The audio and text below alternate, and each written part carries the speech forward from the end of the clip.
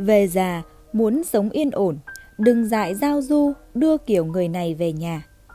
Xin kính chào quý khán thính giả đang theo dõi video trên kênh Tử Vi Số Mệnh, nơi lan tỏa giá trị sống tích cực. Kính thưa quý vị, mỗi chúng ta đều có bạn bè, người thân, chúng ta có những kẻ thù không đổi trời chung khi còn trẻ. Chúng ta có thể luôn ghi nhớ mối thù hận của mình, bởi vì chúng ta còn trẻ.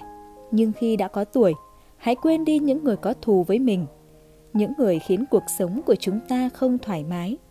Suy cho cùng, về già chúng ta không cần nghĩ đến những điều không vui, vì những điều đó không đáng và không cần thiết.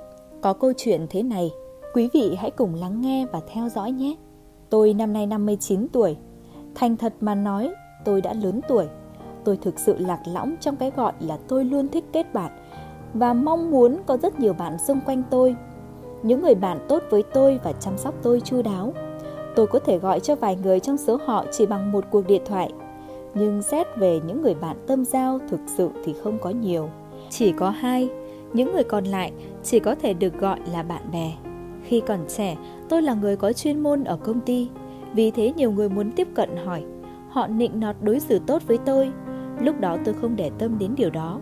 Đúng vậy, người tiến đến đối xử tốt với ta, sau đó hẳn là muốn làm bạn với ta. Cho dù ta là ai đi nữa, ta cũng nên đáp lại và coi họ là bạn. Tôi cùng họ ăn tối, mua sắm, đi chơi. Lúc đó rất vui vẻ và thoải mái. Chồng tôi cũng có chút nghi ngờ. Anh ấy cho rằng họ nhiệt tình, thân thiết với tôi là có lý do. Vì chuyện này mà tôi với chồng còn cãi nhau.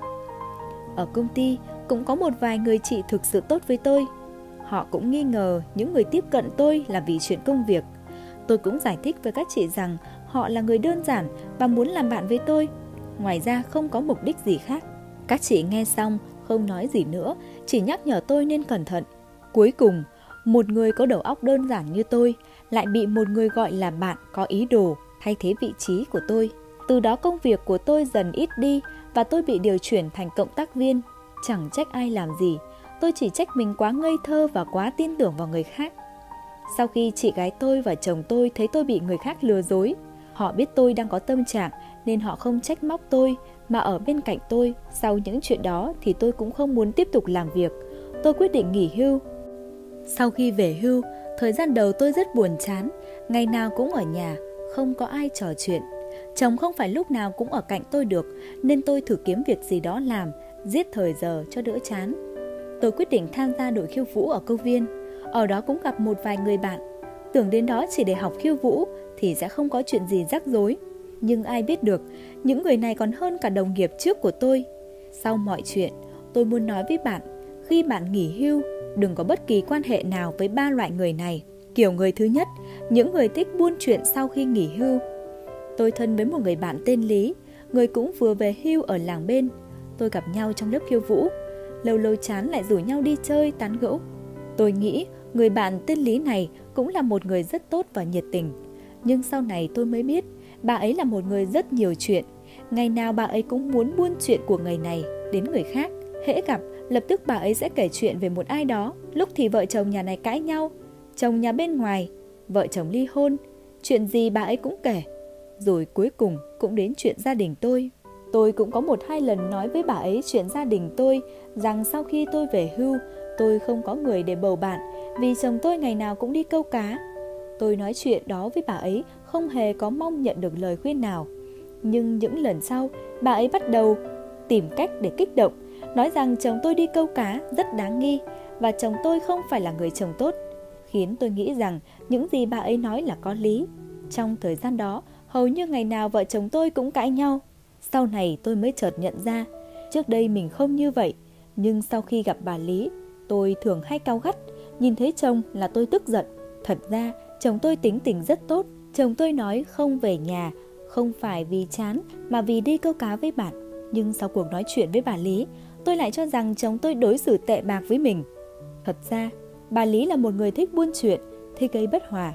Nếu tôi tiếp tục nói chuyện với bà ấy, dần sẽ bị tính xấu đó và gia đình cũng có thể tan vỡ. Người như vậy chỉ mang lại cái xấu, chứ không mang lại may mắn cho tôi. Kiểu người thứ hai, người vừa keo kiệt, vừa lợi dụng người khác. Trên đời này thật sự có rất nhiều người thích lợi dụng. Xung quanh tôi cũng có một người như vậy. Bà ấy là hàng xóm của tôi. bà Trương. Nhà bà Trương cũng không nghèo lắm, còn có điều kiện hơn nhà tôi. Nhưng người này rất keo kiệt và thích lợi dụng. Mỗi lần gia đình tôi mua một đồ dùng gì mới, bà ấy đều đến nhà tôi để mượn dùng vì nó khác nhau. Không chỉ giấy vệ sinh, sữa tắm, dầu gội đầu, thậm chí cả muối đều mượn từ nhà tôi mà không bao giờ trả lại. Một lần đặt chảo lên bếp chuẩn bị rán đậu, tôi mới biết nhà không còn dầu ăn. Tôi cần nước chấm sang xin một chút về rán đậu. Tôi nghĩ rằng tôi cho nhà bà ấy nhiều rồi, nhỡ nhàng xin cũng chẳng sao. Nhưng ai ngờ tôi gõ cửa nhà bà ấy, bà ấy không cho và nói với tôi, trong nhà tôi chỉ có một ít thôi. Tôi đang để trưa mai xào rau, bà chạy đi mua nhé. Tôi biết hôm qua nhà bà ấy mới mua một can dầu to, tôi cũng không xin nhiều, mà bà không cho. Keo kiệt, tôi cũng đâu có xin nhiều, mà bà ấy không cho. Keo kiệt đến thế, nên từ đó tôi không bao giờ sang nhà bà ấy để mượn cái gì nữa. Còn bà ấy thì vẫn thế, vẫn mượn đồ và không trả lại. Cả khi tôi không có nhà, bà ấy cũng chạy vào vườn chanh, vặt mớ rau.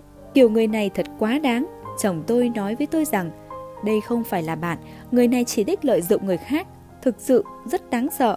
Kiểu người thứ ba, người thích thể hiện và so sánh bản thân. Tôi có một người bạn là bạn của bạn tôi.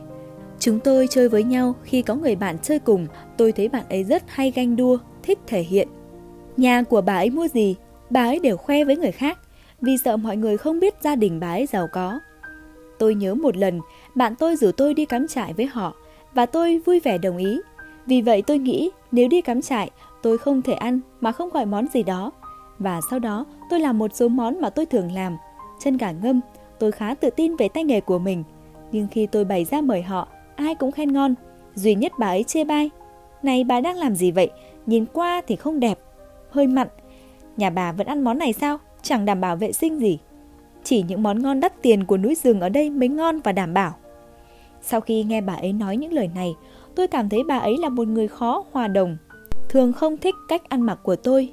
Nói rằng tôi ăn mặc quê mùa, chẳng hợp thời với bà ấy chút nào. Mỗi khi mọi người chụp ảnh cùng nhau, thấy tôi đứng cạnh là bà ấy bỏ đi không chụp. Từ đó đến nay, tôi không giao du với bà ấy. Những người như bà ấy sẽ không phải là bạn của tôi. Bà ấy thích khoe khoang rằng gia đình mình giàu có và cuộc sống tốt hơn bất cứ ai khác. Khi thấy ai đó tốt hơn mình một chút, bà ấy sẽ so sánh những người như vậy, sẽ là bạn với những người khác. Tôi không biết người khác nghĩ gì, dù sao tôi cũng không thể tin được. Kết thân với bà ấy chỉ khiến người khác cảm thấy không vui. Nếu như đã vậy thì tại sao tôi phải chơi với bà ấy? Quý vị thấy sao? Quý vị ở đây có những kiểu người bạn như vậy không? Hãy cùng chia sẻ nhé! Kính thưa quý vị, để tiếp theo chương trình, xin kính mời quý vị và các bạn cùng lắng nghe. Về già không muốn sống trong đau khổ, đừng dại trở thành những kiểu người này. Kính thưa quý vị, nếu bạn không muốn đau khổ trong tương lai thì bạn đừng trở thành bốn loại người này, bởi vì bốn loại người này thường có cuộc sống tồi tệ nhất. Một số người nói, tại sao cuộc sống của tôi rất khó khăn, cuộc sống của người khác lại rất tốt. Trong thực tế, số mệnh của con người là định mệnh. Định mệnh có liên quan đến sự sống và cái chết, cũng như nhân quả. Sự sống và cái chết là cố định, nhân quả là cố định. Đây không phải là điều chúng ta có thể thay đổi. Chúng ta phải học cách chấp nhận nó một cách thẳng thắn. Tuy nhiên, giữa sự sống và cái chết, chúng ta có thể sử dụng những nỗ lực của chính mình để tác động đến nó, thay đổi nó và làm cho nó ngày càng tốt hơn. 1 người quá cố chấp. Một người luôn cố chấp thường phải chịu đựng nhiều khó khăn nhất, luôn miễn cưỡng, luôn không thể buông tay, luôn đòi hỏi, luôn vướng mắc và kết quả là làm cho người khác khó chịu và mình càng tự gây khó khăn cho chính mình về cả thể chất và tinh thần. Con người khi sống nên biết buông bỏ và quên, chỉ khi bạn buông bỏ, bạn mới có thể nhẹ nhõm và nếu bạn quên nó, bạn mới có thể thoải mái, Muốn mở ra mọi thứ, hãy để quá khứ là quá khứ. Buông bỏ, buông bỏ, buông bỏ và buông bỏ mọi thứ. Có rất nhiều người cho rằng cố chấp không phải là điều xấu mà là biểu hiện của sự kiên trì, của tính kiên định. Thật ra, họ đã nhầm lẫn giữa sự cố chấp với tính kiên trì nguyên tắc. Khi trình độ nhận thức của một người càng thấp, người đó sẽ biểu hiện ra càng cố chấp. Do thiếu khả năng phán đoán, họ cho rằng nếu không cố chấp nữa thì dường như sẽ trở thành loại người ba phải, không có chính kiến cá nhân. Tuy nhiên, đây là cách nghĩ sai lầm. vì tính cố chấp chỉ là một loại tính cách bảo thủ, đó không phải là nhân cách chân chính của con người. Ngoài ra, từ một góc độ khác mà xét, những người ưu tú có hàm dưỡng, nội tâm sẽ giữ được cá tính riêng của mình. Họ nhận thức được cố chấp không phải là cá tính, mà là một khiếm khuyết nhân cách. Tính cách này sẽ luôn khiến bạn có thiên hướng quá khích, thiếu sự khoan dung, trì hoãn khả năng tư duy và tiếp thu kiến thức của chúng ta. Vì thế, tâm lý cực đoan này cần được mài nhãn đi, khiến bản thân chúng ta trở nên hòa ái, bao dung hơn. Từ đó mới có thể tạo nên ảnh hưởng tích cực đến sự phát triển nhân cách tốt đẹp của con người. 2. Người đa tình Hãy là một người đàn ông đừng ham mê, vì kết quả của việc ham mê là để người khác làm tổn thương mình. Nhưng bạn không thể đổ lỗi cho người khác, bạn chỉ có thể tự trách mình, người đã bảo bạn là người đa tình. Đam mê tự làm hại bản thân, người tàn nhẫn sẽ làm tổn thương bạn. Lòng tự ái của bạn làm tổn thương chính mình. Bạn đánh giá quá cao bản thân mình trong trái tim người khác. Nhưng thực tế, bạn chẳng là gì trong trái tim người khác. Những người đa tình thường là người đau khổ, luôn từ bỏ một cách mù quáng, thậm chí mù quáng để làm hài lòng người khác, luôn tự lòng khổ mình, luôn tự hạ mình và cuối cùng điều đó có xứng đáng. Thực tế, những người đa tình không nên ghét người họ yêu mà ghét chính họ vì bản thân quá ngu ngốc và ngây thơ. 3. Những người thích so sánh Khi bạn đang cần khẳng định địa vị của mình trong xã hội, bạn sẽ khó tránh khỏi việc phải so sánh mình với những người khác. Nếu chỉ so sánh với người khác cũng tốt, nhưng đôi khi bạn sẽ có những cảm xúc tiêu cực như ghen tị, thậm chí sẽ mất tự tin vào bản thân. Bạn cũng biết rất rõ rằng nếu bạn không so đo với người khác, bạn sẽ cảm thấy thoải mái hơn trong lòng. Biết được điều này, nhưng bạn vẫn tranh đua với người khác một cách vô thức. Dưới ảnh hưởng của sự phát triển về Internet, nhiều khi mục tiêu so sánh của bạn không ở trước mặt. Bạn vẫn có thể dễ dàng tìm được người có thể so sánh với mình. Không so đo với người khác, không so sánh mình với người khác. Có một số người luôn tự khuyên nhủ bản thân như vậy, nhưng họ cũng không thể dễ dàng kiểm soát được ý nghĩ so sánh với người khác, buộc bản thân mình không được so sánh. Kết quả là nó trở thành nhân tố chính gây ra căng thẳng. Nỗi buồn của cuộc sống thường đến từ những so sánh và những người thích so sánh thường phải chịu đựng nhiều nhất. Bởi luôn nhìn vào cuộc sống của người khác, luôn sống vì miệng người khác nên rất mệt mỏi và rất cay đắng luôn đi so sánh với người khác và kết quả là bạn tự đánh mất chính mình và tự làm mình lo lắng hơn và càng không thoải mái hơn. Bạn không chỉ mất bạn mà còn đánh mất chính mình. Trong cuộc sống, bạn không cần so sánh với người khác, vì nếu ai đó tốt hơn bạn, bạn sẽ lại ghen tị và thậm chí ghét anh ta. Điều đó chỉ làm bạn thêm đau khổ.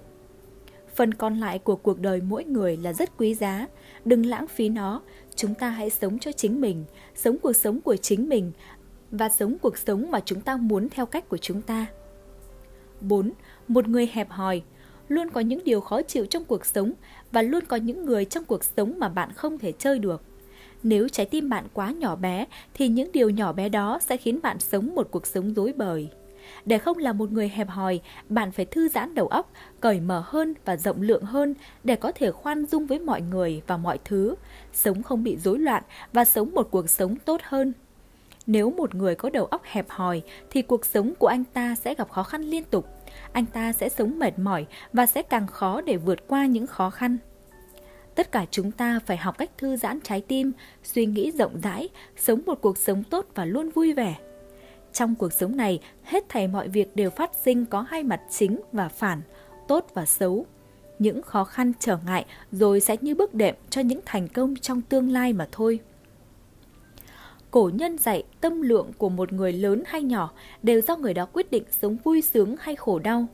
Đôi khi chỉ một ý niệm của con người cũng khiến cho lòng dạ của họ to lớn như là biển cả, nhưng cũng có thể khiến nội tâm nhỏ như là hạt cát. Vật chứa đựng sinh mệnh chính là tâm lượng. Tâm lượng của một người càng rộng mở thì sự phiền não càng nhẹ. Ngược lại, tâm lượng càng nhỏ thì phiền não lại càng nhiều hơn mà thôi người có tâm lượng nhỏ thì chẳng thể nào có lòng bao dung, yêu thương hay chấp nhận những khuyết điểm của người khác. Muốn tâm lượng lớn thì nhất định phải có sự thấu hiểu được mất ở đời. Trên đời này thì có một chân lý chính là có được thì sẽ có mất, có mất thì mới có được. Họa là chỗ dựa của phúc, phúc cũng là nơi ẩn náu của họa. Mọi chuyện tốt xấu đều thường chuyển hóa cho nhau. Thế nên mỗi người đừng tính toán so đo, khi gặp sự tình không thuận thì hãy biết nhìn mặt tốt của nó. Ít nhất đó cũng chính là cơ hội để một người tu dưỡng bản thân mình. Thế nên chẳng cần tức giận, càng không nên tranh giành. Một người thông minh có thể nhẫn nại, kiềm chế thì chứng tỏ tâm lượng của họ đã rộng mở rồi. Người có tâm lượng lớn thì tấm lòng rộng càng rộng mở. Chắc chắn đó chính là người tài năng, đức độ. Họ dễ dàng có được sự thành công nhất định trong cuộc đời này. Ba kiểu người tự đánh mất may mắn của chính mình. Trong cuộc sống của mỗi chúng ta, ai ai cũng mong mọi sự đều được thuận buồm xuôi gió. Nhưng đôi khi, những điều không hay xảy đến không hẳn do ông trời tạo thành, mà do chính bản thân mình trong cách đối nhân xử thế. Một, người tự lập không nghe lời khuyên của người khác. Chúng ta đều biết rằng nếu một người có chủ kiến của bản thân là điều rất đáng quý, được mọi người tôn trọng. Vì tôn trọng ý kiến của người khác cũng chính là tôn trọng mình. Nhưng trong cuộc sống, có những lúc chúng ta cũng cần những lời khuyên của người khác để đưa ra cho mình lựa chọn đúng đắn. Người khác có quan tâm bạn, họ mới đưa ra lời khuyên nhủ.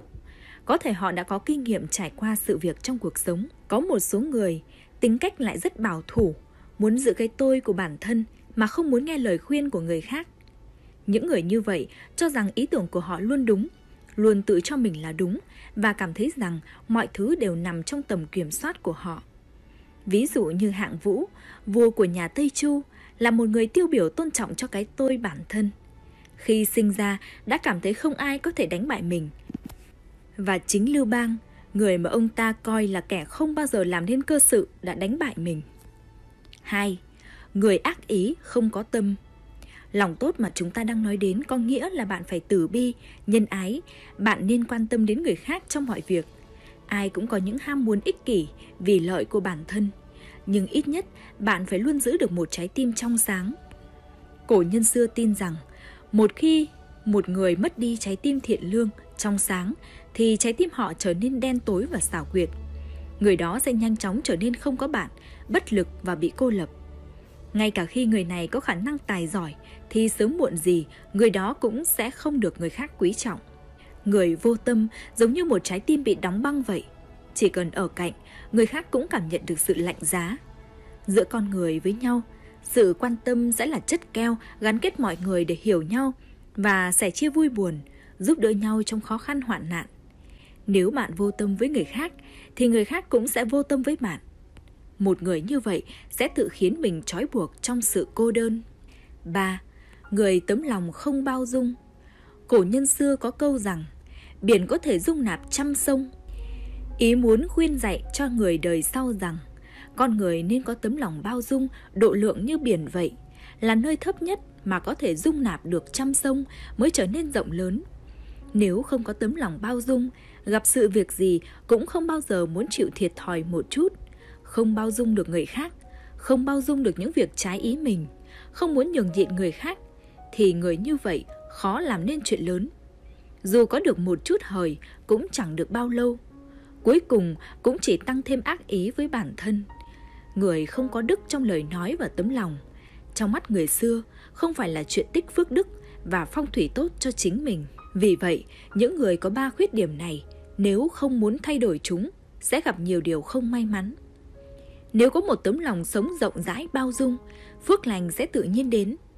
Hãy để lại cho người khác một lối đi cũng chính là để cho mình một bước để lùi. Người may mắn chỉ có bản thân mình mới tạo ra những phúc phận đó. Nếu tâm một người không có thiện niệm ông trời cũng không thể giúp được. Thưa quý vị cổ nhân có câu bao nhiêu tiền bạc cũng không mua nổi một ngày. Hãy trân quý thời gian của chính mình. Thời gian là vàng câu nói đó là đúng với mọi hoàn cảnh vì thời gian luôn vận động vĩnh hằng trong cuộc sống. Mỗi giây, mỗi phút đi qua, nó sẽ không bao giờ quay trở lại nữa. Vì vậy, chúng ta cần phải biết quý trọng thời gian. Nếu bạn cứ dành quá nhiều thời gian vào những việc vô bổ không đâu, thì không những tinh thần và sức khỏe của bạn bị suy yếu đi, cuộc sống của bạn không được cải thiện, mà bạn còn đánh mất một thứ quý báu nhất trên đời. Một thứ mà sau này bạn có hối tiếc bao nhiêu đi chăng nữa, cũng không có cách nào lấy lại được đó chính là thời gian Thời gian có thể lấy đi của bạn nước mắt, những ký ức đau buồn, nhưng cũng mang lại cho bạn những niềm vui, hạnh phúc, kỷ niệm mà bạn không bao giờ quên. Nhưng điều đáng sợ đó chính là thời gian trôi đi một cách không ngừng. Việc níu kéo thời gian là việc không thể nào làm được. Chúng ta chỉ có thể trân trọng nó, tận dụng món quà này một cách ý nghĩa nhất, để sau này không phải nuối tiếc về nhiều thứ.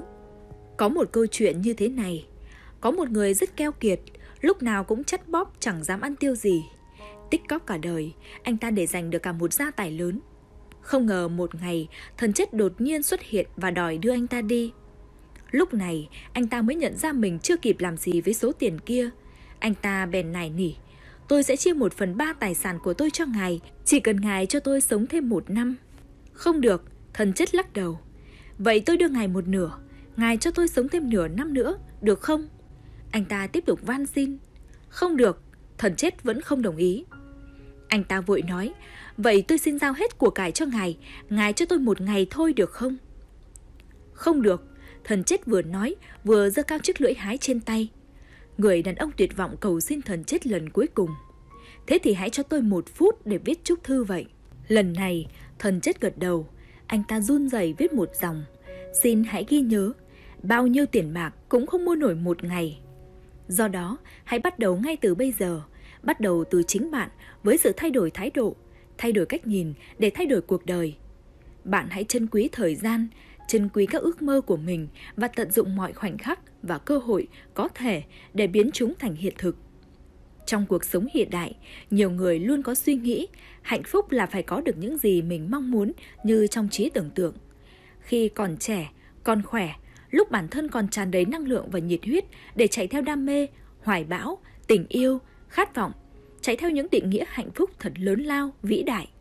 Để rồi, khi trải qua những thăng trầm của cuộc sống, khi đôi chân đã mỏi nhừ, khi mất đi điều gì đó, hay thậm chí là khi đạt được những thành công vinh quang, ta mới chợt nhận ra, hạnh phúc chẳng phải kiếm tìm ở đâu xa, mà hạnh phúc chính là những bước đường ta qua, những con người ta đã gặp và hạnh phúc đơn giản nhất là trân trọng những gì ta đang có. Nếu bạn nghĩ mình không phải là người có ý chí mạnh mẽ thì cũng đừng quá lo lắng, bạn sẽ làm được. Tất cả những gì bạn cần là luyện tập kiên trì, bởi không gì là không thể nếu bạn thực sự nỗ lực. Ý chí là khả năng kiên định vào một sự việc, bảo trì nhiệt huyết, không nao núng, không bỏ cuộc. Trong quá trình giữ vững ý chí, sẽ có thống khổ, sẽ muốn bỏ cuộc, sẽ thấy mệt mỏi, sẽ có đủ loại ý nghĩ khiến ta không thể tiếp tục kiên trì. Nếu như có thể kiên trì không từ bỏ thì cho dù kết quả có như thế nào đi nữa, chỉ riêng loại tinh thần này đã là rất khó có được và thật là đáng quý rồi. Trong hoàn cảnh thuận lợi, ý chí rất dễ yếu đi vì vô số cám dỗ sẽ làm ta lóa mắt, chơi một chút, nghỉ một chút, lãng phí thời gian một chút. Cứ vậy, dần theo năm tháng, ý chí cũng hao mòn. Trong nghịch cảnh, ý chí cũng dễ yếu đi. Vì trong cảnh tồi tệ, mỗi từng phút giây đều là thống khổ. Từ bỏ thôi, để vậy được rồi. Thời thời khắc khắc khiến con người ta ruột gan rối bời, cảm thấy khó mà sống dày vò. Cứ như vậy trong thống khổ mà bỏ mặc không màng gì nữa. Hai chữ kiên trì, viết thì dễ, nhưng làm được thì quá khó. Trong cuộc sống, nếu có thể bảo trì được ý chí mạnh mẽ, không chùn bước, kiên định nội tâm, không bị phù hoa dẫn động, không bị thất vọng làm nản lòng, kiên trì trước sau như một thì quả thực là vô cùng đáng quý. Bạn hãy xem, hoa kia nở rực rỡ khiến lòng người khoan khoái thành thơi. Chúng cũng là từ hạt mầm mà lớn dần từng chút một. Bạn xem núi xanh hùng vĩ khiến con người mở rộng tầm mắt. Núi ấy cũng là từ đất đá trồng chất mà thành. Bạn xem, sóng lớn đại dương cuộn trào mãnh liệt khiến người ta khao khát trong tâm, cũng là từ những dòng nước nhỏ tụ lại mà thành biển cả vô tận. Bạn xem, những đại văn nhân lưu lại vô số những bài thơ bất hủ, họ cũng là một đời thấp hèn, không ai đoái hoài đến. Bạn xem, vạn sự vạn vật đều là từ trong kiên trì, trong bền bỉ, dùng ý chí kiên cường chống chọi lại tầm thường, cô đơn, chán nản, thiên kiến. Ý chí ấy, hỏi mấy người có thể kiên trì giữ được. Thành công trông thấy được sẽ luôn thôi thúc người ta tiếp tục nỗ lực, khiến người ta có nghị lực phấn đấu. Còn những việc không thấy kết quả kia, thử hỏi thế gian có mấy ai làm được, kiên trì năm này qua năm khác, vĩnh viễn bảo trì nhiệt huyết thở ban đầu. người mang theo ý chí ấy, hỏi có việc gì không thể thành công. Kiên trì trong tầm thường, kiên trì trong vô vị, kiên trì trong chế nhạo, kiên trì trong chấn áp, kiên trì trong bức hại. Ý chí này đủ để chấn động lòng người trong thiên hạ. Chỉ riêng sự kiên trì này cũng đã đủ khiến người ta không phục không thôi. Những người có ý chí mạnh mẽ không bao giờ từ bỏ. Họ không bao giờ muốn nhìn bản thân mình như một kẻ thất bại. Nếu mọi chuyện không giống như kế hoạch đã đề ra, họ sẽ lập ra kế hoạch mới, tiến lên phía trước để có một tương lai tươi đẹp.